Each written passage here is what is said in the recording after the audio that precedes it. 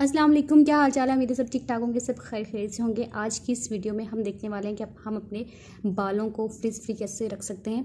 आजकल जिस तरह का सीज़न है हमने, हमें अपने बालों को टूटने से बचाने के लिए या हमें अपने बालों को फ्रिज फ्री रखने के लिए बहुत सी मेहनत करना पड़ती है। आजकल हर एक के बाल बहुत ज़्यादा गिर रहे हैं और सबको ये लगता है शायद हमें कोई प्रॉब्लम हो गई है, लेकिन नहीं मूनसून की वजह से ये एक नॉर्मल सिचुएशन है। हर एक के बाल गिरते हैं, लेकिन हमें अपने बालों को मैनेज करने के लिए, अपने बालों को फ्रिज फ्री रखने के लिए हमें कोई ना कोई चीज़ अप्लाई करना पड़ती है। तो बेहतर यही कि हमें इस मौसम में या इस सिचुएशन में हमें अपने बालों के ऊपर कोई केमिकल अप्लाई करने की बजाय हमें नेचुरल इंग्रेडिएंट्स यूज़ करने चाहिए, ताकि हमारे बालों को मज़ीद नुकसान ना हो।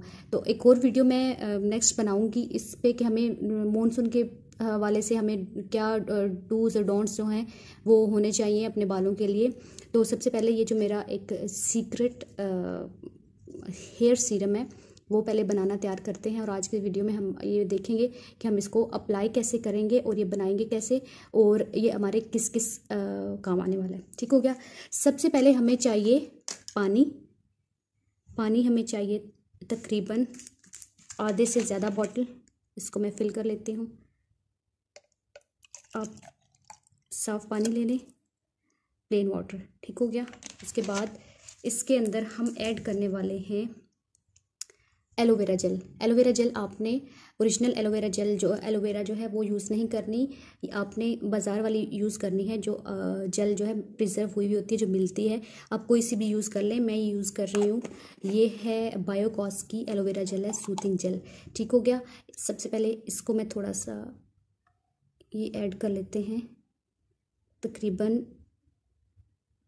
दो चम्मच। ठीक हो गया?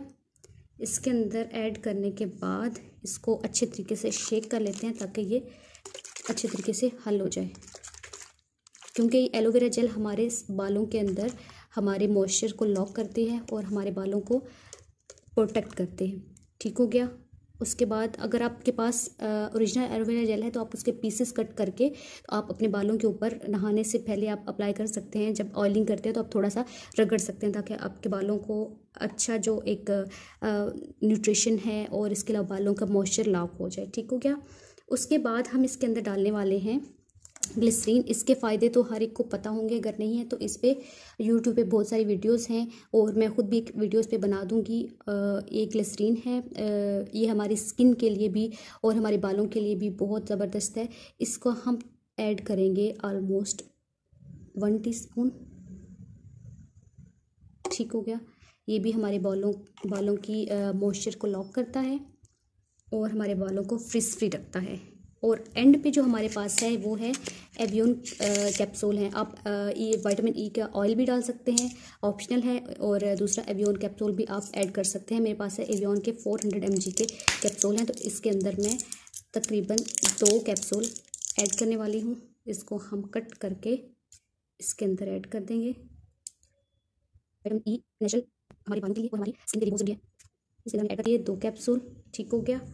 उसके बाद हम इसको अच्छे तरीके से शेक कर लेते हैं ताकि ये यकजान हो जाए। ठीक हो गया? ये देखें ये हमारे पास हमारा एक सीरम रेडी है। हमारा होममेड सीरम है। हमें कोई भी बाज़ार से केमिकल वाला सीरम लेने की ज़रूरत नहीं है। आजकल जिस तरह का मौसम है हमें अपना इस बालों पे ज़रूर अप्लाई करना चाहिए। अब मैं इसको अप्लाई करके दिखाती हूँ आप, आपको कि इसका टेक्स्चर कैसा है। ये देखें इसका टेक्स्चर बिल्कुल वाटरी है। कोई भी इसके अंदर कोई ऑयली पन नहीं है। कोई भी हमारे बालों को ये चिपचिपा नहीं कर देगा। टोटली ये वाटरी टेक्सचर है, ठीक हो गया? ये सूख जाएगा, हमें अप्लाई कब करना है? कि हमें अप्लाई नहाने के बाद जब हम बाल थोड़े से सूखे हों, थोड़े से गीले हों मतलब नॉर्मल से हों, तब हमें अपने बालों पे ये सीरम अप्लाई करना है। अप्लाई करने के बाद हमें थोड़ी देर अपने बालों को एक बन सा बना के रख देना है, ताकि हमारे बालों के अंदर मॉइस्चर लॉक हो जाए, ठीक हो गया? और मॉइस्चर लॉक करने के बाद फिर हमें, अगर थोड़ी देर बाद हमें इसको खोल देंगे, हमारे बाल जो है फ्रिज फ्री और बिल्कुल जो मैनेजेबल हो जाएँगे, हमारे टेंगल फ्री हो जाएँगे, हमें उनको जो है ना, कंगी करने में भी आसानी रहेगी। ठीक हो गया? तो मुझे उम्मीद है कि आपको मेरी ये वीडियो पसंद आई होगी।